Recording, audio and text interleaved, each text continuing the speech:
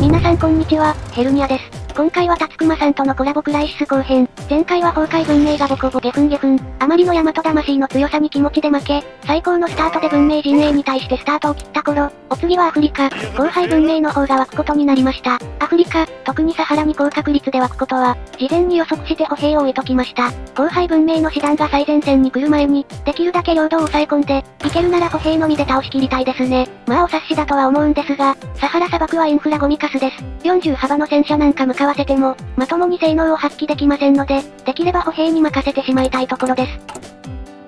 ボス枠である崩壊文明が、めちゃくちゃちっちゃいなと思っていたら、なんと先ほど湧いた後輩文明がもう幸福。い、一応言っておきますけど、僕の小銃は無改造の一般的なもの。合計レベル30から40程度で改造したのは、3号突撃砲くらいのものです。おそらく敵が最前線に来る前に、うちの歩兵部隊が幸福に必要な領土を全て踏んでしまったのでしょう。各文明は100個単位規模で師団が湧くんですが、相手は師団が多すぎて、補給不足で対して動けなかったのかもしれませんね。しかしまだまだ油断はできませんよ。そろそろ欧州方面にも湧く頃でしょうから、飛行師団をいつでも向かわせられるように、準備しないとですね。なおアフリカの歩兵は、アフリカで2カ所湧くってことはまずないので、さっさとアジアや欧州の別ポイントに向かわせていきます。と言ったら今度はイスタンブール、誘拐文明の方が敵としては来ました。しかしそこも対応済みで、ドイツの歩兵だけでなく、イタリアやトルコの警戒力も高い場所です。崩壊文明のボコり具合は予想外でしたが、その他はきちんと読みが当たって、イメージ通りの戦い方ができてる感じです。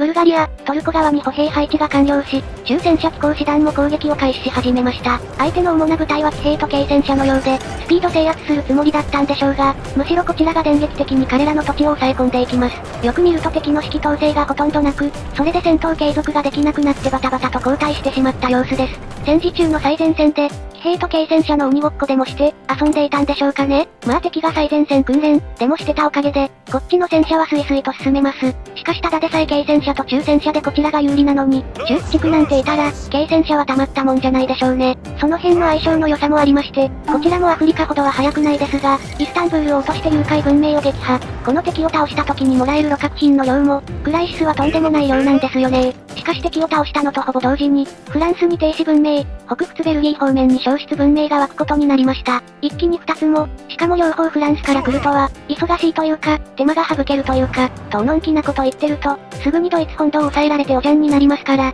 まずはドイツに近い北仏方面から対処しましょうか。先ほどトルコで活躍した部隊を送り、圧倒的な速度で敵を追い越し、一気に領土を制圧していきます。でもって人だったカレーでも抑えたのか、消失文明の方はあっという間に抑えることができました。続いて停止文明の方なんですが、こちらも速攻を、と言きたいのですが、ここまであまりにもテンポよく小文明を倒しすぎて、このままじゃ日本の出番、言い換えればタツクマさんの尺がなくなってしまいます。動画投稿者側の都合で申し訳ないんですが、ここは日本の陸軍が来るのを待ってから、攻撃を再開していこうと思います。と言っても相手の停止文明、ほぼ全部の師団が機械化された師団のようで、うちの戦車たちならともかく、歩兵では対処しきれないかもしれませんね。南フランスは来たほど補給も良くないですし、今まで見たく簡単に倒せる相手じゃなさそうですよ。さて日本軍が着々と到着してきたので、うちの戦車たちもいよいよ攻撃開始。最初こそ優勢の矢印でしたが、次第に不利になってきていました。というのもこの戦闘データを見てほしいのですが、対戦車攻撃にかなりの恩恵、特に国プラス100%が大きく、かなりの火力と防御力を叩き出しています。ドイツも師団攻防が強化されてるおかげで、50%アップした状態なのですが、相手の逆に比べますとかなりの差で、すぐに中戦車師団たちの統制が尽きてしまいます。航空支援があったとしても、この防御2000を超えるような敵を倒すのは、やはり容易にはいかないようです。さて中戦車と駆逐戦車のパワーで、なんとかここまで押し込んできましたが、40個師団近い戦車で全力攻勢をかけたので、一気に中戦車が消耗してしまいました。一応備蓄の方はあるのですが、補充をわざわざ待たないといけませんね。そんな幸福まで追い込めないじれったい状況が続く中、南米、ブラジルの方では滅亡文明が湧き、よりにもよってドイツ本土にて、昏睡文明の方が湧くことになりました。幸いバルト三国方面を警戒していた、歩兵師団がまだ近くにいて対処できそうですが、欧州はいよいよ忙しくなってきましたね。クライシスで一番まずい事態は、処理しきれない敵文明の多さ、その圧倒的物量と質に押しつぶされてしまう事態です。ですから湧いてきた敵、小文明を一つ一つ潰していき、最後の方で多数の敵と戦わないようにするのが、一番生き残りやすい戦略になってきます。今なかなかヤバい停止文明と戦いながら、昏睡文明とイチャついてる暇はないのだよ君と。飛行士団の半分を向かわせて一気に制圧。自分でも気持ち悪いくらいに追い越し殲滅が決まっていきますね。そして結果的には師団が多すぎて補給が終わりながらも、昏睡文明は降伏、なおずっと放置気味の崩壊文明ですが、崩壊文明君は第2フェーズになってさらに師団を沸かせ、少しだけ領土を広げたみたいですね。しかしほとんどの師団を大日本帝国に殲滅されたようで、チベット本土の大都市を多数落とされたことで、あっさりこの場で退場してしまいます。今日本軍の小銃、マウスの秘宝より貫徹力ありますからね。そんな化け物火力を持ったアジア人に、もはや誰も叶うはずがありません。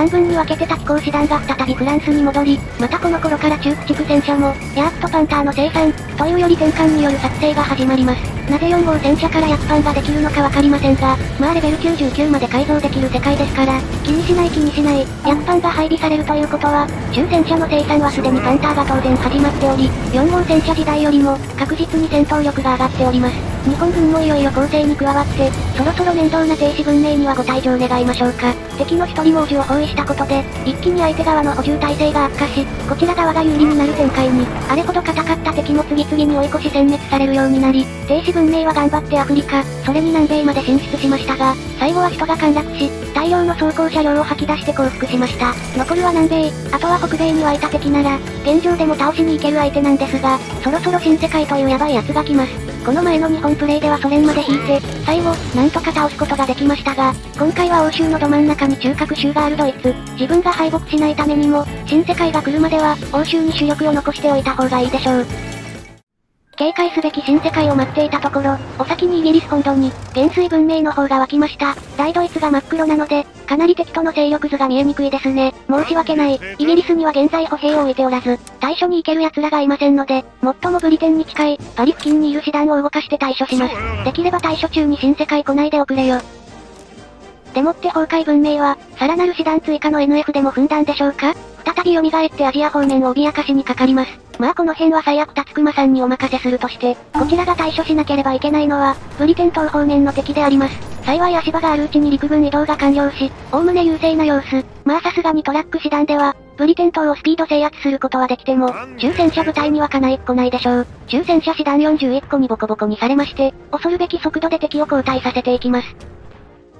崩壊文明の方も余裕そうだなぁと眺めつつ、その間にイギリスの元帥文明は降伏しました。大日本帝国は中国側には歩兵がいないようですが、まあ普通にインド方面から北上していくことでしょう。とまたのんきに考えていますと、いよいよ最後の敵新世界がパリに出現。しまったパリの周り今誰もいないよと思いつつ、こうなったからにはまず、急いで飛行士団を大陸側に戻す必要があります。北仏側の港に戻すと、指揮統制的に即殲滅の恐れもありますので、まあフランスは一度全て放棄する覚悟で、少し遠回りな形で師団を本土に戻しましょうか。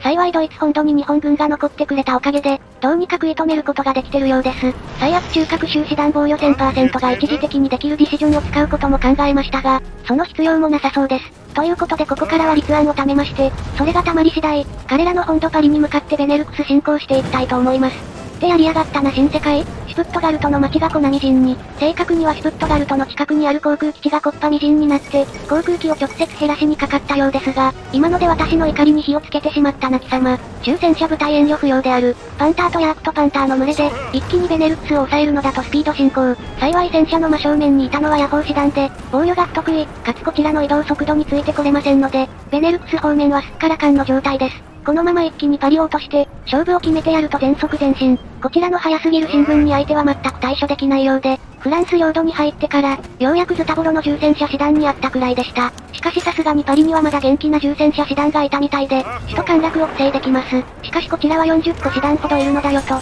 新世界の戦力が分散しているのをいいことに、一気に隙間を縫ってパリを制圧。新世界は思ったよりもあっけない形で、降伏することになりました。何より初動の構成で、重戦車師団ではなく、野砲師団だったのが早期制圧できた要因ですね。